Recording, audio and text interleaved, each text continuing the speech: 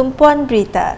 Generasi muda di negeri ini perlu mengetahui betapa pentingnya Perjanjian Malaysia 1963 MA63 seperti yang diperjuangkan oleh pemimpin kerajaan Sarawak dan Sabah ketika ini.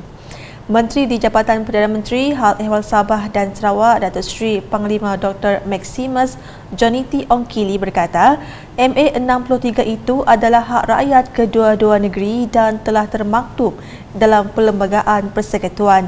Menurutnya ini kerana MA63 adalah asas kepada penubuhan kepada Malaysia dan adalah menjadi komitmen Kerajaan Sabah dan Sarawak meneruskan rundingan bagi memastikan Kerajaan Persekutuan mengembalikan hak-hak yang termaktub dalam perjanjian tersebut.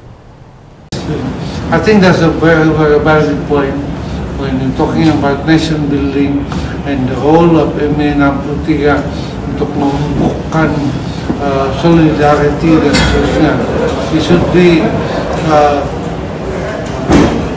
because three party now, Malaya, or West Malaysia, Sabah dan Sarawak tapi fokus attention has been Sabah Sarawak. I think we need to address that dari segi pembentukan nasionalisme bagi kita hope uh, more program can be done by the department um, dengan kampus-kampus nanti di Semenanjung untuk memastikan semua benefit from the interaction dari yang yang kita jalankan.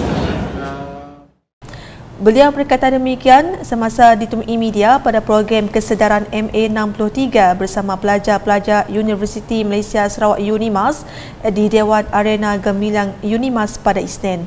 Mengulas lanjut, beliau memberitahu majlis khas mengenai MA63 yang ditubuhkan bukan sahaja berperanan merungkai beberapa isu yang tertangguh berhubung hak serta kedudukan Sabah dan Sarawak tetapi juga memberi penekanan kepada usaha-usaha untuk membangun dan memajukan kedua-dua negeri. Justru rakyat tidak seharusnya keliru atau terpedaya dengan dakwah pelbagai pihak kerana tindakan mereka seolah-olah membawa Sabah dan Sarawak ke belakang selepas lebih setengah abad mengecapi kemerdekaan menerusi Malaysia.